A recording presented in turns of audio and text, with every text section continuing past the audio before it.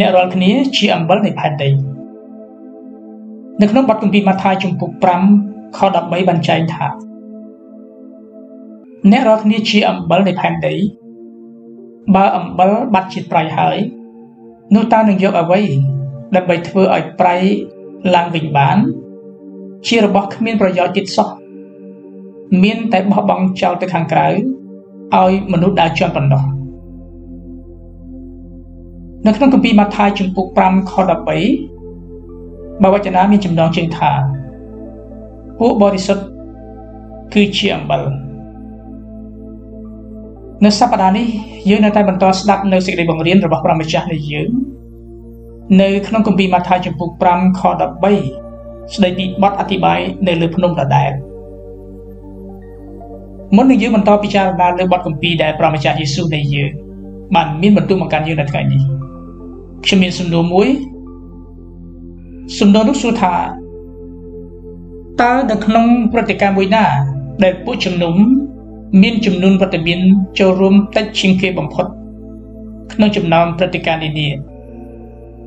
ចម្លើយនោះគឺពិតជាមិនខុសទេគឺនៅពេលនៃការប្រមូលផ្ដុំ ការជួបជុំគ្នាសម្រាប់ការថ្វាយបង្គំនៅថ្ងៃអាទិត្យនោះឯង ខ្ញុំនៅនឹកចាំបទគម្ពីរមួយ ដែលសាវកពលធ្លាប់បានប្រាប់យើងថាពួកជំនុំជាព្រះវិហាររបស់ព្រះ ជាកន្លែងដែលព្រះជាម្ចាស់គង់នៅនៅក្នុងគម្ពីរកូរិនថូសខ្សែទី1ជំពូក3ខ16បានចែងយ៉ាងដូចនេះនៅក្នុងបទគម្ពីរបានចាប់ផ្ដើមដោយសំណួរថាតើអ្នករាល់គ្នាបានដឹងទេឬអី ថាខ្លួនអ្នករាល់គ្នាជាព្រះវិហារនៃព្រះហើយថាព្រះវិញ្ញាណនៃព្រះទ្រង់សន្តិដ្ឋក្នុងអ្នករាល់គ្នា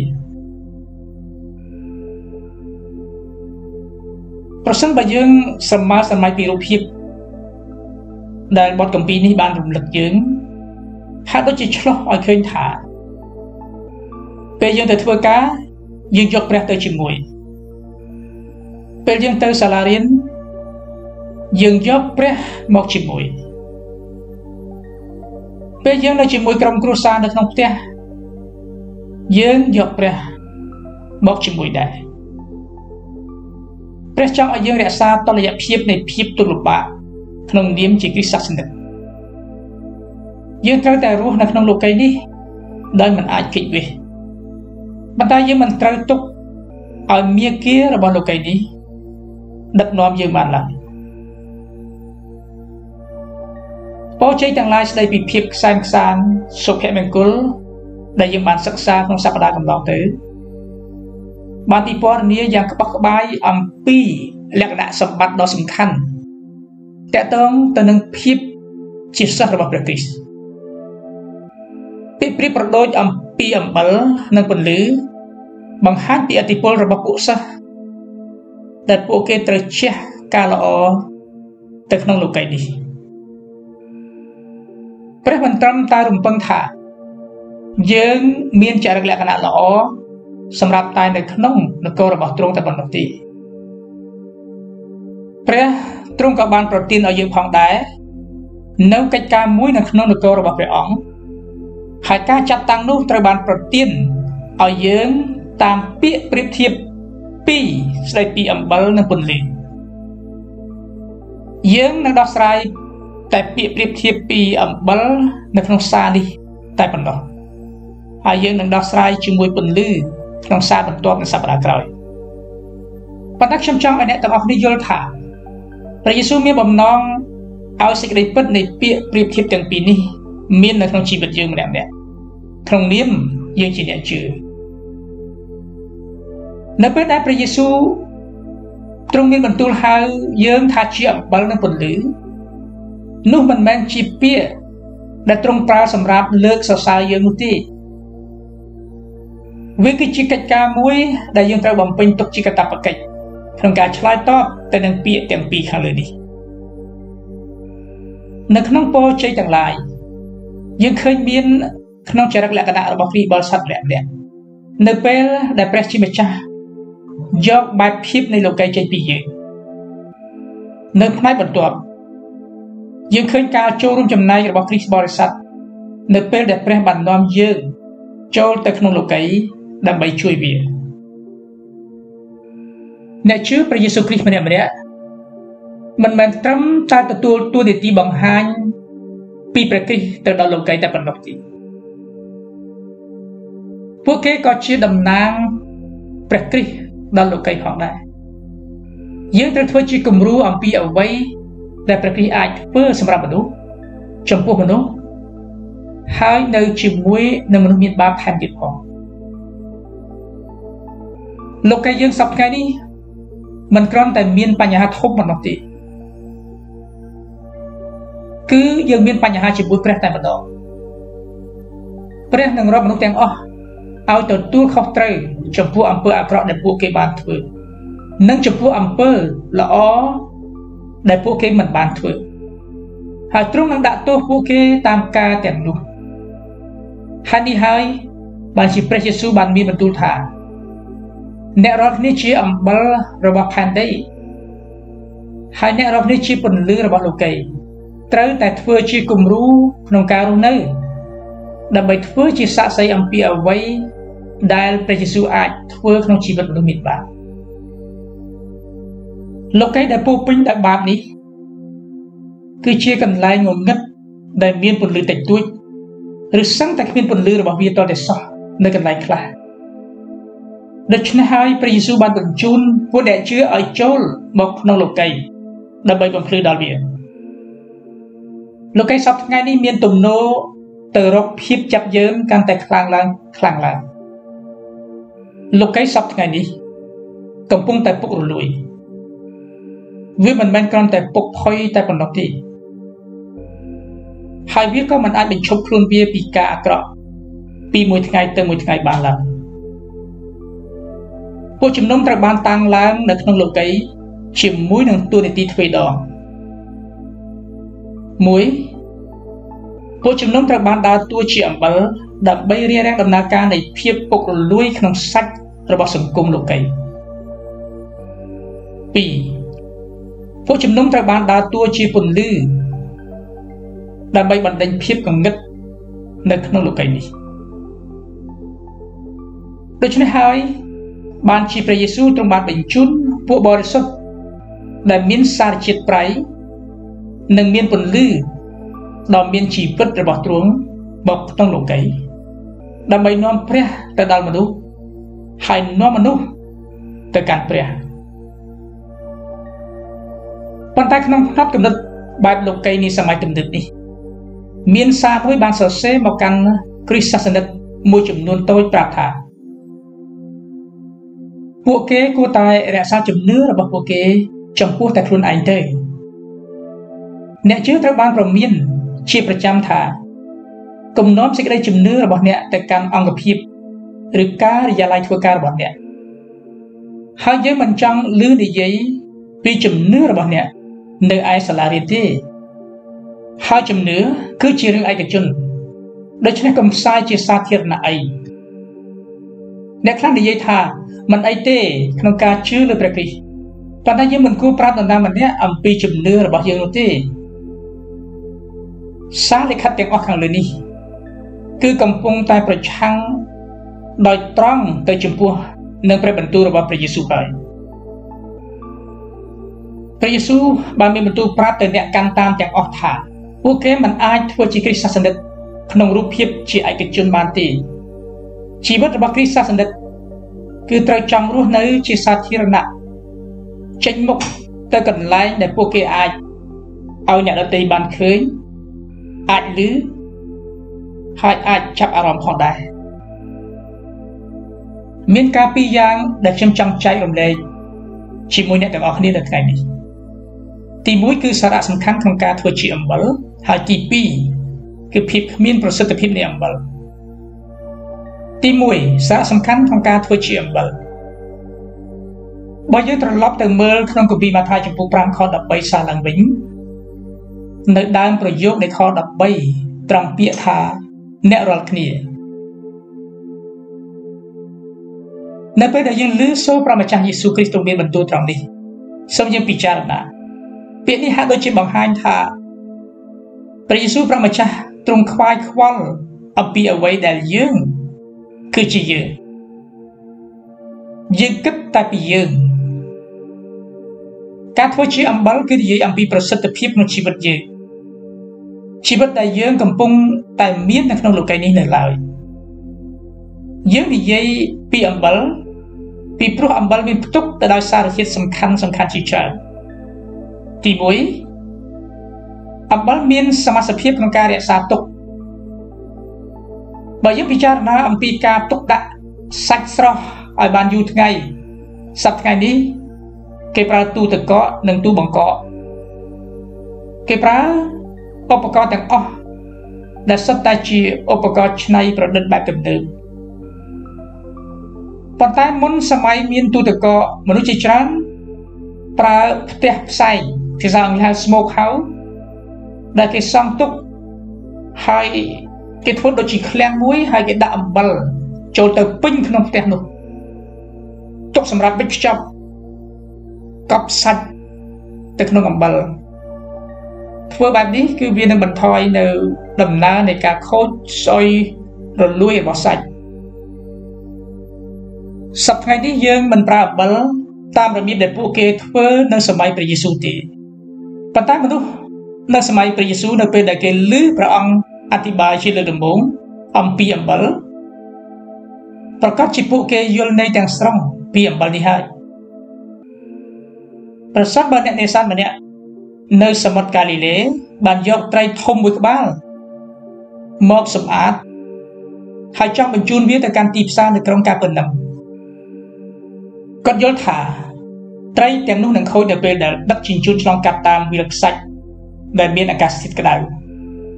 ហើយគ្មានសារធាតុរក្សាទុកនៅសម័យនោះគេមិនប្រើទឹកកកឬទូបង្កកទេប៉ុន្តែគេយកអំបិលដាក់ចូលទៅក្នុងត្រីដើម្បីកុំឲ្យវាខូចសាច់ពួកសិស្សគឺជាអំបិលនៃផែនដីហើយត្រូវយកអំបិលប្រភេទនេះទៅលាបក្នុងលោកីនេះ ដើម្បីរក្សាវាកុំឲ្យពុករលួយដើម្បីទប់ស្កាត់អំពើពុករលួយក្នុងនាមជាអំបិលគ្រីស្ទសាសនិកត្រូវទប់ស្កាត់អំពើអាក្រក់និងទប់ស្កាត់អំពើពុករលួយនៅលើផ្លូវដែលកំពុងនាំឆ្ពោះទៅកាន់នរកចូលស្រមោលស្រមៃពីពិភពលោកមួយដែលមានអធិពលគ្រីស្ទសាសនិកបើយោងតាមបទគម្ពីរ គ្រីស្ទសាសនិកបានឈានមុខគេក្នុងការជជែកតវ៉ាអំពីបញ្ហាក្នុងច្បាប់រំលោភកូនគ្រីស្ទសាសនិកបានក្រោកឈរឡើងដើម្បីការពារជីវិតមនុស្សប្រសិនបើវាមិនមែនដោយសារតែពួកគ្រីស្ទសាសនិកទាំងនោះដែលប្រកាន់ជំហរការពារមនុស្សស្រុតត្រង់ទេភាពភ័យរន្ធត់នៃការរំលូតកូននឹងត្រូវបានទទួលយកកាន់តែច្រើនឡើងច្រើនឡើង ក្នុងការអនុវត្តច្បាប់របស់សង្គមចុះតើវានឹងទៅជាយ៉ាងណាបើគ្រិស្តសាសនិកមិនបានក្រោកឈរឡើងប្រឆាំងទៅនឹងច្បាប់រៀបការភេទដូចគ្នានិងអំពើអាក្រក់ផ្សេងផ្សេងនៅក្នុងសង្គមរបស់លោកីនាសម័យកាលមុនមុននៅក្នុងគម្ពីរវិវរណៈបានបើកបង្ហាញអំពីការអាក្រក់ដ៏ធំធេង ដែលនឹងកើតមាននៅលើផែនដីនាថ្ងៃអនាគតនៅពេលដែលកម្លាំងរារាំងរបស់គ្រីស្ទៀនត្រូវបានលើកឡើងពីលោកីនេះបើគ្មានបណ្ឌកិច្ចបំរុងការពារដែលគ្រីស្ទៀនបានវែងមុខនាំយកមកបង្ហាញឲ្យឃើញទេនោះនរកទាំងមូលនឹងលេបផែនដីនេះបាត់អស់រួចទៅហើយអំបិលតែបន្តិចនាំឲ្យការធ្វើដំណើរផ្លូវឆ្ងាយ បានទៅដល់គោលដៅតើអ្នកធ្លាប់បានឃើញរូបមន្តធ្វើមហោបដែលនិយាយថាអំបិលតែមួយស្លាបព្រាទេតើមានន័យថាម៉េចពាក្យថាអំបិលតែមួយស្លាបព្រាទេវាមានន័យថាតែបន្តិចទេតើអ្នកដឹងទេថា អ្នកគឺជាអំបិលតែបន្តិចតាមគ្រាមភាសាក្នុងភាសាខ្មែរ គេនិយាយថាអំបិលតែមួយចិបអ្នកគឺជាអំបិលមួយចិបរបស់ព្រះ នៅក្នុងសាលារៀននៅក្នុងអង្គភាពនៅក្នុងការិយាល័យរបស់អ្នកកុមារភាគច្រើនដែលអ្នកទៅសាលារៀនជាមួយនឹងស្លាប់ហើយធ្លាក់នរក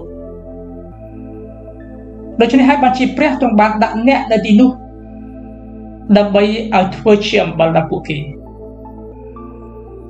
ប្រសិនបើនៅក្រុងកូម៉ារ៉ានិងក្រុងសូដូមមានមនុស្សសុចរិតតែ10នាក់គឺមានន័យថាមានអំបិលតែ10ស្លាបព្រាតែប៉ុណ្ណោះនោះព្រះជាម្ចាស់នឹងប្រោះអ្នកក្រុងទាំងនោះឲ្យបានរួចជីវិតហើយខ្ញុំជឿថាវត្តមាននឹងការអធិដ្ឋានរបស់ពួកគ្រីស្ទានអំបិល នឹងធ្វើការច្រើនថែមទៀតគ្រីស្ទានអំបិលមានពោពេញដោយអធិពលនៃគ្រីស្ទានពិតយើងហៅគ្រីស្ទានអំបិលថាជាគ្រីស្ទានពិតជាជាងអ្វីផ្សេងផ្សេងទៀតដែលយើងអាចដាក់ឈ្មោះឲ្យអំបិលគឺជាសេចក្តីសុចរិតនៃពួកកូនកូនរបស់ព្រះ ដែលអាចធ្វើឲ្យគ្រីស្ទានខ្មែរចេញរួចហើយវាជាអ្វីដែលការពារ រារាំងជាតិមួយនេះឲ្យរួចពីការកាត់ក្តីនៅថ្ងៃជំនុំជម្រះខាងមុខនោះមានសេចក្តីព្រៀងប្រដៅមួយរបស់ស្ដេចសាឡូមោនដែលយើងបានស្រង់ចេញពីគម្ពីរសុភាសិតចំពុក14ខ34បានចែងថាសេចក្តីសុចរិតរមែងលើកដំកើងនគរតែអំពើបាបជាទីគួរខ្មាស់ដល់សាសនាណាក៏ដោយ នៅក្នុងគម្ពីររបស់ខ្សត្រខ្សែទី2ចំពុក7ខ14បានចែងយ៉ាងដូចនេះទៀតថានោះបរិយអញដែលបានហៅតាមឈ្មោះអញគេបន្ទាបខ្លួនហើយអធិដ្ឋានរមុខអញព្រមទាំងងាកបែរចេញពីផ្លូវអាក្រក់របស់គេនោះអញនឹងស្ដាប់ពីលើស្ថានសួគ៌ហើយនឹងអត់ទោសអំពើបាបរបស់គេ ទាំងមើលស្រុកគេឲ្យជាផលទី2 អំបិលមានសមត្ថភាពក្នុងការជ្រៀតចូលអំបិលនឹងជ្រាបចូលហើយជ្រៀតចូលតាមអ្វីដែលវាប៉ះពាល់សំបីតែដាច់ថែបដ៏រឹងអំបិលជាសារធាតុឈ្លានពានដ៏មានអធិពលបំផុតខ្ញុំជឿជាក់ថា ពួកជំនុំត្រូវបានព្រះម្ចាស់ត្រាស់ហៅឲ្យធ្វើជាកម្លាំងសកម្មក្នុងលោកីជុំវិញខ្លួន ពួកជំនុំគួរតែជាកងពលសកម្មប្រយុទ្ធគឺជាកងពលសកម្មប្រយុទ្ធខាងវិញ្ញាណដែលកំពុងធ្វើការវិលុកទ្វារស្ថានរៈយ៉ាងរំភើបត្បិតមានចែងនៅក្នុងគម្ពីរដំណឹងល្អម៉ាថាយចំពុក16ខ18ដែលព្រះអម្ចាស់យេស៊ូវគ្រីស្ទនៃយើងទ្រង់បានប្រទានអំណាចទ្រង់បានសន្យាប្រទានអំណាចដល់ពួកជំនុំព្រះម្ចាស់នៃយើង ទ្រង់បានមានបន្ទូលសន្យានៅក្នុងបទគម្ពីរយ៉ាងដូចនេះទៅកាន់ពេត្រុសថាខ្ញុំប្រាប់អ្នកថាអ្នកឈ្មោះពេត្រុសខ្ញុំនឹងតាំងពួកជំនុំខ្ញុំនៅលើថ្មដានេះហើយទ្វារស្ថានឃុំប្រលឹងនោះស្លាប់នឹងបណ្ដាឈ្នះពួកជំនុំឡើយទី3អំបិលមានសមត្ថភាពក្នុងការសម្អាតឬបន្សុទ្ធអំបិលមានសមត្ថភាពសម្អាត គួរឲ្យកត់សម្គាល់អំបិលអាចសម្អាតមុខរបួសបានល្អបំផុតភាពបរិសុទ្ធនៃគ្រីស្ទបរិស័ទដែលព្រះបានប្រទានឲ្យមានអធិពលព្រះបានប្រទានភាពបរិសុទ្ធដល់គ្រឹះសាសនិកម្នាក់ម្នាក់ឲ្យមានអធិពលរស់នៅក្នុងលោកីនៃជុំវិញខ្លួនតើអ្នកធ្លាប់កត់សម្គាល់ទេថា មនុស្សបានឈប់និយាយហើយប្រព្រឹត្តរបៀបណាខ្លះនៅពេលដែលកូនព្រះក្រោកឡើងដើរទៅជួបពួកគេចូលកុំអាក់អន់ចិត្តប្រសិនបើពួកអ្នកស្រុកឈប់និយាយជាមួយអ្នកនៅពេលដែលអ្នកបានទៅជួបពួកគេគឺអ្នកគ្រាន់តែអរព្រះគុណដល់ព្រះតែអ្នកកំពុងតែដើរតួជាកម្លាំងសម្អាតបន្សុទ្ធនៅក្នុងលោកីនៃជុំវិញអ្នកទី4 អំបិលមានសមត្ថភាពក្នុងការនាំមកនៅភាពរីករាយអាហារអ្នកមានរសជាតិអាស្រ័យដោយអំបិលនៅពេលដែលអាហារមានរសជាតិអ្នកមានភាពរីករាយអំបិលបន្ថែមរសជាតិអាហារភាគច្រើនមានរសជាតិហឹរ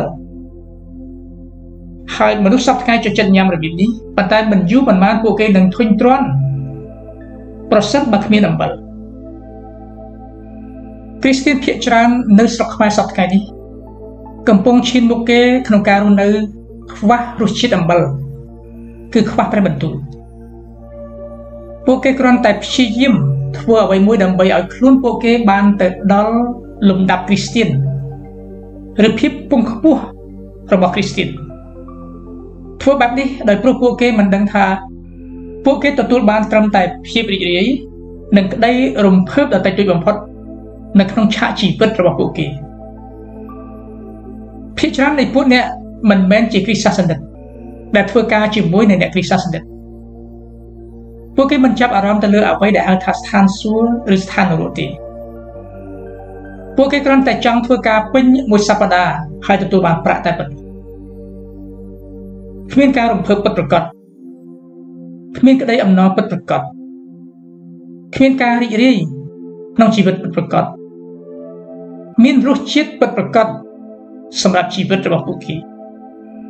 បំណិនជីវិតរបស់ពួកគេគឺស្ថិតនៅក្នុងទេសភាពនៃជីវិតលោកីកថាគ្រិស្តសាសនិកគឺជាមនុស្សល្ងងបំផុតខុសខើបំផុតហើយគ្មានបញ្ជីឈ្មោះនៅលើផែនដីនេះពីព្រោះគេគិតថាគ្រីស្ទានមិនអាចរស់នៅក្នុងជីវិតដូចជាពួកគេ ប៉ុន្តែគ្រិស្តសាសនិកគួរតែខុសពីពួកអ្នកមិនជឿយ៉ាងដូចនេះហើយធៀបពិតគ្មាននរណាម្នាក់នៅលើផែនដីនេះមានអំណរពិតប្រាកដសន្តិភាពពិតប្រាកដបំណិនជីវិតពិតប្រាកដដោយដែលគ្រិស្តសាសនិកមាននោះទេនៅក្នុងគម្ពីរម៉ាកុសជំពូក9ខ51ព្រះយេស៊ូវបានមានបន្ទូលថាយើងត្រូវមានអំបិលនៅក្នុងខ្លួន ធ្វើយ៉ាងម៉េចតើយើងគួរធ្វើយ៉ាងម៉េចដើម្បីឲ្យយើងមានអំបិលនៅក្នុងខ្លួនការមានអំបិលនៅក្នុងខ្លួនវាគឺជាកិច្ចការពីព្រះបន្ទូលរបស់ព្រះ និងពីព្រះវិញ្ញាណបរិសុទ្ធនៃព្រះ ដែលបង្កើតលក្ខណៈជាព្រះហើយអាចធ្វើឲ្យគុណរបស់ព្រះមានអធិពលបង្កើតសេរីល្អថ្វាយព្រះនៅក្នុងលោកីនេះនៅក្នុងគម្ពីរកូឡូសជំពូក4ខ6 បានបញ្ជាក់ប្រាប់យើងថាយើងត្រូវមានភាពប្រកបនិយមរាល់ពាក្យសម្ដីដែលយើងនិយាយត្រូវតែប្រឡាក់វាដោយអំបិលនៅក្នុងខ6បានចែងថាចូលឲ្យពាក្យសម្ដីរបស់អ្នករាល់គ្នាបានប្រកបដោយព្រះគុណជានិច្ចទាំងបងអំបិលផងដើម្បីឲ្យដឹងជាបែបយ៉ាងណា ដែលគួរឆ្លើយដល់មនុស្សនីមួយៗពាក្យសម្ដីរបស់យើង មិនគួរគ្រាន់តែជាពាក្យដែលបញ្ចេញពរទៅដល់អ្នកដទៃតែប៉ុណ្ណោះទេប៉ុន្តែជួយឲ្យវាបានទៅជាសារធាតុបន្សុទ្ធ